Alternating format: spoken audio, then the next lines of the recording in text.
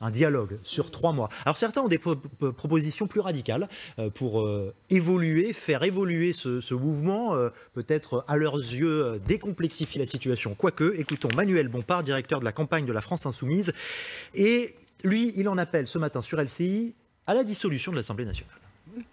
Plus les dimanches vont se succéder et le gouvernement va rester dans sa surdité, et plus la question de la dissolution de l'Assemblée nationale va devenir une question d'actualité. Pas la démission de Macron. Bah, je pense aujourd'hui que si vous voulez avoir un vrai débat, un débat de fond jusqu'au bout, vous devez répondre à la question de qui va trancher à la fin entre les désaccords politiques. C'est ça la démocratie. Il y a des orientations différentes qui s'expriment et le peuple tranche à la fin. Donc il faut le retour aux urnes. C'est la seule solution aujourd'hui pour sortir le retour de la aux urnes, vous, vous demandez l'arrêt des manifestations? Bah, S'il y a une dissolution de l'Assemblée nationale, je pense que les gens comprendront que c'est dans le cadre électoral que se tranchera euh, et se trancheront pardon, les, les, les débats politiques qui aujourd'hui ont lieu dans la rue parce qu'ils n'ont pas d'autre lieu pour s'exprimer. D'un insoumis à un autre, je salue quand même notre invité qui vient de nous rejoindre, Françoise Degois, David Guiraud, bonjour, porte-parole jeunesse de la, de la France insoumise. On vient Ce n'est pas une question idiote de poser la question de la dissolution. Non, mais moi je suis d'accord. Après, par contre, c'est pas là, là, ce qu'on voit aujourd'hui, les images que vous voyez aujourd'hui, c'est pas l'opinion, c'est un mouvement social. C'est un peu différent. L'opinion, c'est ce qu'on mesure par les sondages. Là, il y a une force. Ce, mouvement social est soutenu par une majorité. Voilà, ce mouvement social n'existe pas parce que l'opinion continue de le soutenir. Vous savez, si l'opinion bascule, le mouvement disparaît. La, différence, c'est que le mouvement, c'est une force réelle, c'est-à-dire qu'il se concrétise dans la rue. Les gens font un effort. Ça fait quand même deux mois que les gens tiennent des ronds-points, ce qui est un effort, y compris physique, humain, etc. Et puis euh, ça bloque l'économie en partie, etc. Donc c'est quelque chose de réel. Mais effectivement, moi je pense qu'il n'y a pas 36 solutions. Les Gilets jaunes ont déjà émis une liste de revendications. Donc ou bien Emmanuel Macron euh, plie, c'est-à-dire qu'il accepte la majorité des revendications. Aujourd'hui, il y en a une qui est, qui est quand même qui est ressortie euh, parmi toutes les autres, c'est celle du référendum d'initiative euh, citoyenne, donc sur tout sujet, etc. Parce qu'il faut pas, faut pas qu'on fasse dit qu'il ne pliera pas, une version édulcorée. Mais soit la, il plie sur ce sujet, sur ce fameux référendum, et on verra dans trois mois. Mais ou bien il plie sur ce sujet, ou bien il considère qu'il a raison, dans ce cas-là, on revient aux urnes, c'est-à-dire on refait des élections, d'où l'idée de, la, dissolution. Il n'y a, pas 36 solutions. Aujourd'hui, le problème d'Emmanuel Macron, c'est qu'il promet euh, euh, aux manifestants, aux gilets jaunes, en gros, 4, euh, murs ou 4 planches, quoi, la mort sociale ou, le fait d'être en prison parce qu'on manifeste, parce qu'on n'est pas d'accord. Donc au bout d'un moment, il faut sortir de cette, cette situation-là. Mais ceux qui bloquent la situation et ceux qui ont mis du poison sur la situation, c'est par exemple les déclarations d'un Benjamin Griveaux qui nous dit on va être plus radicaux. À quoi ça sert d'attiser les tensions comme ça? À quoi ça sert? Pourquoi? Pourquoi est-ce qu'on a besoin absolument de montrer qu'on est ferme, qu'on est fort, etc. C'est pas. on va écouter justement précisément. Moi, je suis pas commentateur et puis euh, je pense que sur, ce que vivent sur ce que vivent les gilets jaunes, il faut peut-être demander à un gilet jaune. Eh on va donner la parole à Faouzi Lelouch. Voilà, ne vous inquiétez pas. Il y a un moment aussi, il faut arrêter de se faire le porte-parole de gens qu'on n'est pas quoi. Mais juste par rapport à ça, il y a une chose. Je suis, je suis le porte-parole de mes électeurs. Il y a une chose, Madame, vous êtes porte-parole de la nation. Que ça vous plaise ou non. Moi, il y a une chose, il y a une chose qui m'ulcère dans ce que vous dites en fait, c'est que et je vois ça, moi, ça fait, euh, allez, ça fait six ans que je milite. Hein. J'ai fait des mouvements dans les universités, etc. Ça fait six ans qu'à chaque fois qu'on se mobilise, c'est jamais la bonne manière. Jamais. Il n'y a jamais le bon moment. C'est-à-dire que si on se mobilise sur une université, qu'on fait les choses gentiment, on nous écoute pas. Il y a des syndicats, il y a des syndicats. Excusez-moi, madame, est-ce que je peux finir? Je vous ai pas, je vous ai pas interrompu, dans les universités. Bah oui, oui. Non, on était, on était deux. En fait, on était deux. Non, mais juste, je finis, je vais David Guiraud et après, Monsieur Lelouch il y a des choses, les gens le, disent pacifiquement, qu'ils en peuvent plus, qu'ils n'arrivent pas, qu'ils n'arrivent pas à joindre les deux bouts, ils le disent pacifiquement. Ils font même pas de manifestation, on ne les écoute pas. Vous avez des syndicats qui font, qui, sont embourbés dans des, euh, dans des grandes consultations, euh, dans, dans, des grandes concertations où ils sont pas écoutés, ils sont étouffés au milieu de micro-organismes, etc. Les partis on les sont pas, entendus. Et, ensuite, on fait des manifestations. On a fait des manifestations pacifiques, etc. La fête à Macron, bon, euh, on nous écoute pas. Donc maintenant, les gens, ils en peuvent plus, voilà. Ils en peuvent plus de ce discours qui dit. Vous non, mais oui, mais moi, j'en peux plus, c'est vrai. Pour pouvoir l'être. Non, mais c'est je vous avoue. Je non, non, mais attendez, je vous respecte, mais, vous êtes un opposant je suis un depuis opposant. le départ. Mais vous n'aurez fait qu'une seule chose. Non, mais je pense que le sujet mérite qu'on s'y arrête sérieusement. C'est-à-dire qu'il y, a deux manières de faire. Moi, je suis militant politique, donc euh, j'essaye d'apporter ma contribution au débat. Hein. Mais il y a deux manières de faire. Ou bien euh, on fait une guerre des images et on entre dans une logique de guerre civile, c'est-à-dire qu'il euh, y a tel manifestant qui a boxé un policier, il y a tel policier qui a boxé un manifestant, il y a Griveaux qui dit qu'il faut rester radicaux, donc en réponse, il y a des gilets jaunes qui enfoncent la porte de son ministère. Ou bien on est dans cette logique. Ça, peut être un choix. Je ne pense pas que le gouvernement sera gagnant sur cette logique.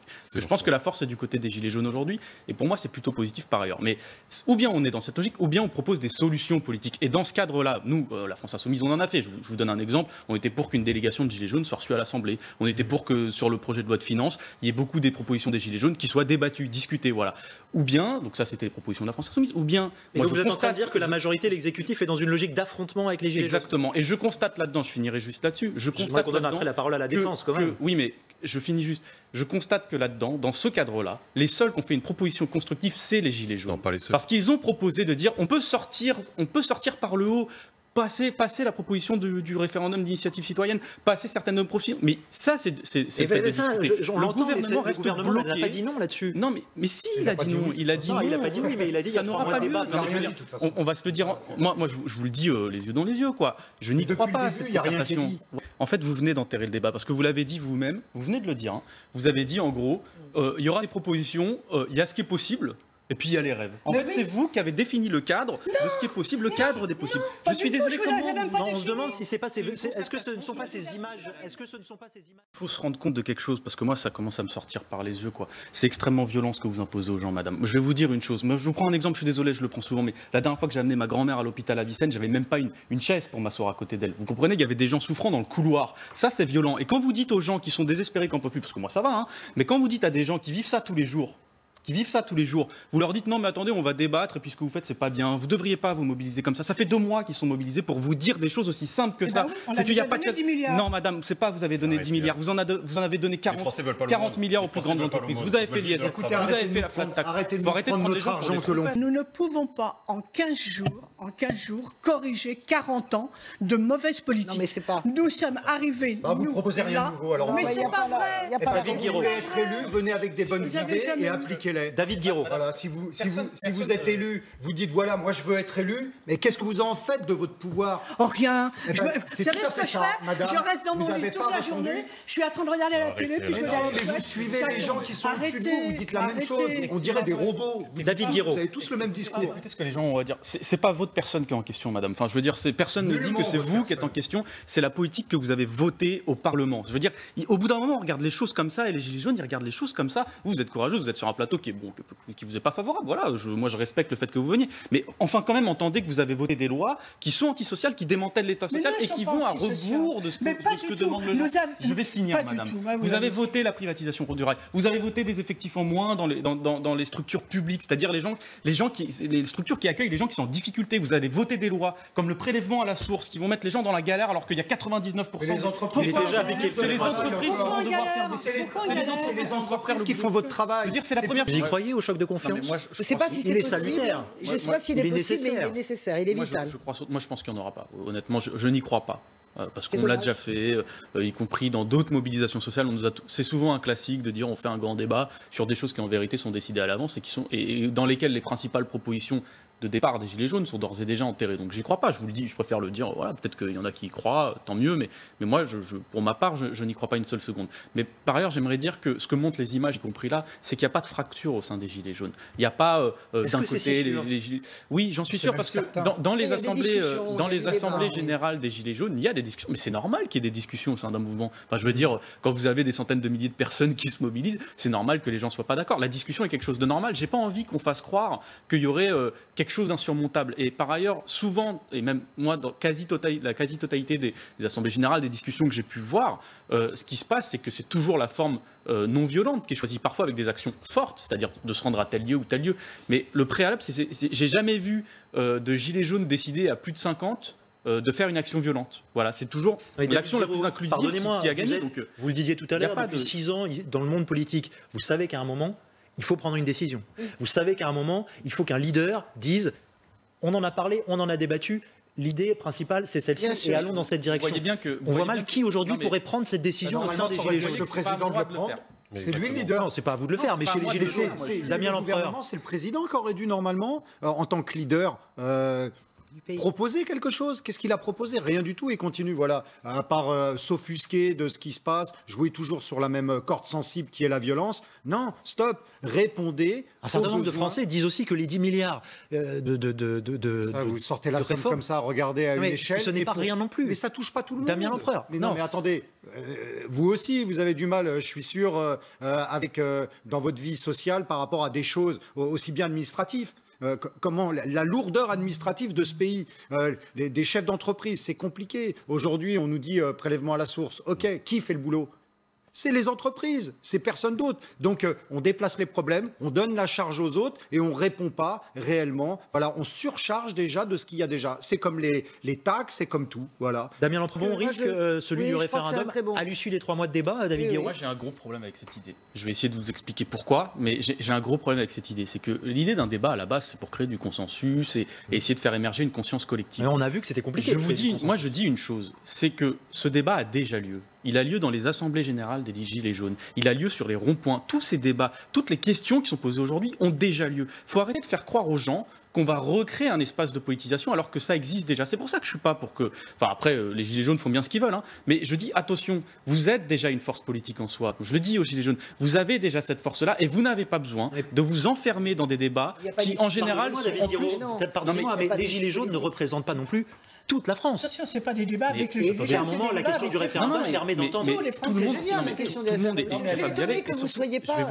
Pardonnez-moi, je suis très étonné que vous ne soyez pas. Je vais vous euh, expliquer pourquoi. Vous pour euh, l'idée de voter après le débat par référendum. Parce que je vous dis une chose. Mais moi, moi, moi, moi, j'ai fait mes études sur la concertation. J'ai pas de souci pour en parler. Enfin, je veux dire, j'essaye juste de dire une chose, c'est qu'il y a déjà des espaces de conscience collective. Il y a déjà des espaces de débat qui sont pas limités par quelqu'un d'autre que les gilets jaunes.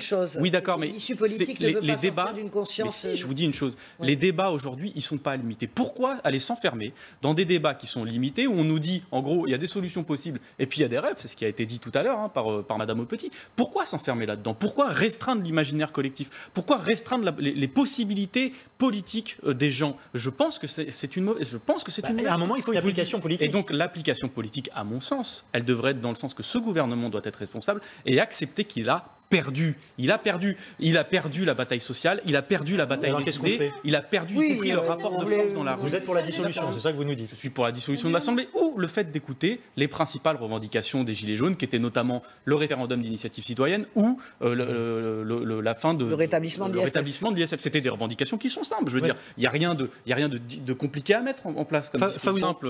moi, moi, je, ne dis pas ce que, les Gilets jaunes doivent faire. Juste, je suis un militant politique. Bah je donne mon avis quoi. Bon, et, en tant qu'organisation politique, on essaye de proposer des débouchés. Mm. Moi, je ne vois pas ça comme un débouché viable. Je me demande, c'est simplement la question que je me pose. Je me demande pourquoi est-ce qu'on a besoin du gouvernement pour discuter. Voilà, c'est ça. Au bout d'un moment, les Gilets jaunes, c'est un mouvement qui a dit depuis le début je prends les affaires de mon pays en main. Il faut s'en saisir de ce débat. Et là, vous ne laissez pas les gens dans l'entre-soi. C'est superflu de, faire, de, s'enfermer dans des cadres qui sont à la fois décidés par le gouvernement et dans lesquels les cadres du débat sont aussi. Mais vous n'aurez qu'une sortie gouvernement. Vous, comprenez que vous n'aurez qu'une sortie politique et institutionnelle. Moi, je pense que c'est une manière d'étouffer le débat. Là où vous vous trompez, si vous permettez, c'est que justement, on nous a même demandé, nous, les députés, Hein, et même nos sénateurs, de ne pas être dans ce débat. De façon, ce n'est pas En Marche qui organise les débats. Nous, nous n'y serons pas. non, mais, c'est le gouvernement qui l'organise. Mais non, pas du tout. ce sont les maires. Chaque ah. maire, chaque maire de tous les partis possibles, imaginables. ce n'est même pas la question. Il est de gauche, il est de droite, tout toi. Un maire. Vous avez bien vu que même la présidente de la CNDP a émis des réserves. La présidente de la Commission nationale du débat public a dit attendez, on n'est pas une commission indépendante. C'est une commission indépendante où il y a quatre thèmes et après des thèmes ouvert. C'est-à-dire que c'est comme une assemblée générale. Hein, il est bien évident qu'il y aura d'abord Enfin, tout au moins, je l'espère, mais en étant que président de l'association, on ne va pas dire on parle de tout et n'importe quoi. ce jour-là, ce jour-là, dans telle commune, il y aura un débat sur tel sujet. après, il y en aura un autre. Et après, avec... Donc là, ce n'est pas nous, ce n'est pas En Marche. La, la, démocratie, la démocratie, c'est pas un Ce Non, mais juste la démocratie, la démocratie, c'est pas rapidement. Pour, pour, euh, David est-ce que ces, images euh, vous inquiètent? Est-ce que euh, ce qu'on a pu voir à Paris, euh, même si on le précise, c'est pas la majorité des gilets jaunes, mais est-ce que tout ça vous inquiète? Est-ce que vous vous dites là, on va chaque fois un peu plus loin et trop loin? Non, mais moi, je suis pas là pour étaler mes sentiments, mais pour, plutôt pour donner une, issue politique à la chose. Et je le dis avec tout l'amour que j'ai pour, pour la paix, quoi, pour euh, que, le pays aille bien, etc. Je, le dis sincèrement.